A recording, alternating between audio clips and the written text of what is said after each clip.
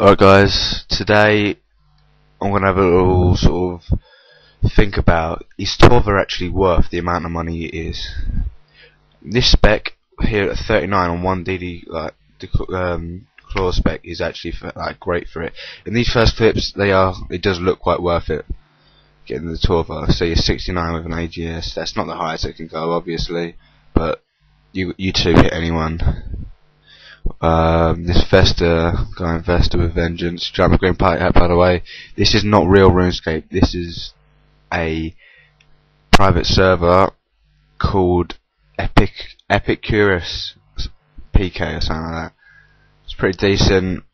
Took me a few days to get Torva and Party Hat and that, but not uh, it's not too bad. You can donate, but um, there's no point donating to be honest you might donate like fucking like pound a pound or something every like, like I mean like just to play it or something just to say like thanks because getting like see look he's just like fucking teared me and he's wearing Torags and I've got Torva on. What the fuck is that about?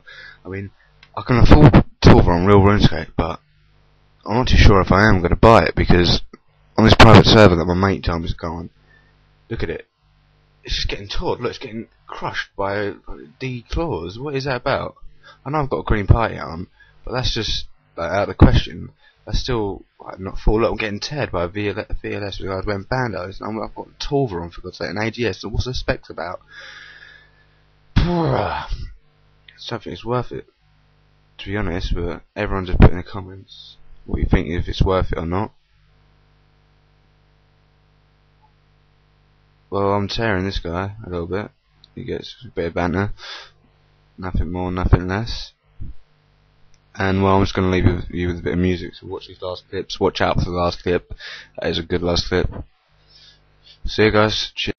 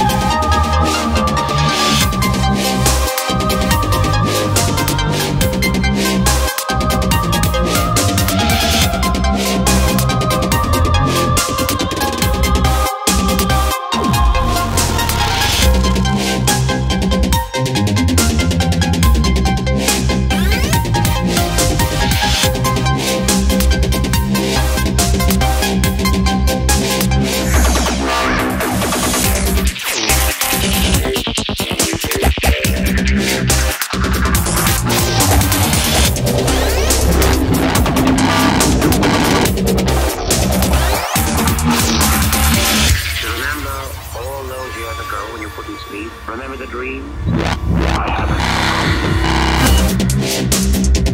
haven't.